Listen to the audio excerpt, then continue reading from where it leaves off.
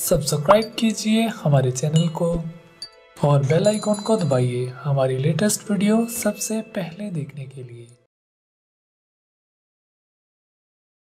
आ, नमस्ते मैं मंजू और ये मेरे हस्बैंड हैं दिनेश कुमार। और मेरे हस्बैंड को पहले कोविड हुआ था और जिस वजह से फिर इनको बाद में मूंग में पता चला हमें कि ब्लैक फंगस हो गया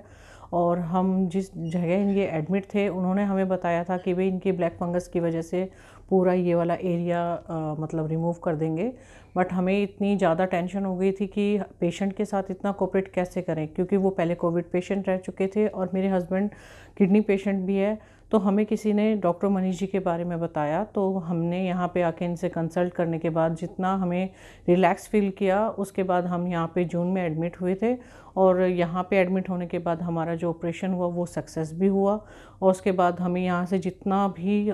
जो स्टाफ है हॉस्पिटल का, उससे काफ़ी अच्छा मतलब रिस्पॉन्स मिला। जैसे कि इनकी जो साफ़ सफ़ाई है, जो नर्सिंग स्टाफ है, इतना अच्छा कोऑपरेट किया सबने हमारे साथ, जिसकी वजह से मेरे हस्बैंड की भी तबीयत काफ़ी ठीक है पहले के हिसाब से, और आज हमें डॉक्टर मनीष जी ने भी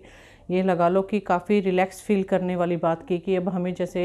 एक महीने बाद आना है। तो जैसे अब आज मेरे हस्बैंड को भी आप देख पा रहे हो कि पहले के हिसाब से इनकी हेल्थ भी काफ़ी अच्छी है, और आज हमें लगता है कि जैसे कोविड जैसे और ब्लैक फंगस जैसी बीमारी अगर आती भी है तो डॉक्टर मनीष जी अगर हमारे साथ हो तो हम सबके साथ लड़ सकते हैं।